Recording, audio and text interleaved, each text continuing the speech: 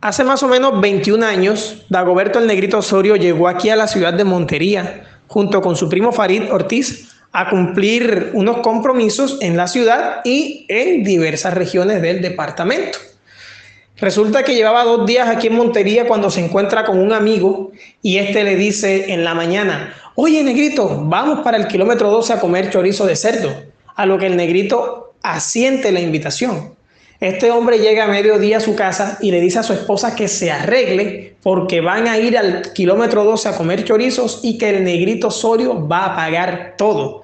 Como quien dice, estando allá el hombre le iba a poner el plomo.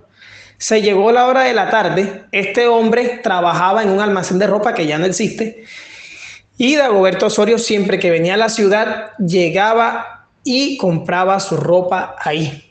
Resulta que a las 2 de la tarde llegó el negrito al almacén y se estaba midiendo unos pantalones y unas botas. Se encontraba en el vestier cambiándose la ropa cuando de pronto entra por la puerta del almacén la esposa de este compañero y dice, mi amor, ya estoy lista, ¿dónde es que está el negrito para que nos lleve a comer chorizo? A lo que el hombre le dice, cállate que el negrito está en el vestier.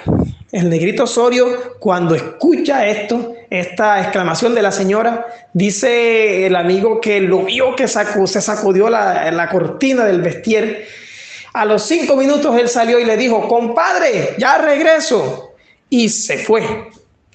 Y hasta el sol de hoy, ese compadre está esperando que el negrito Osorio lo lleve a comer chorizos, que después se dio la cita pero la de ese día no se pudo cumplir por dicha imprudencia.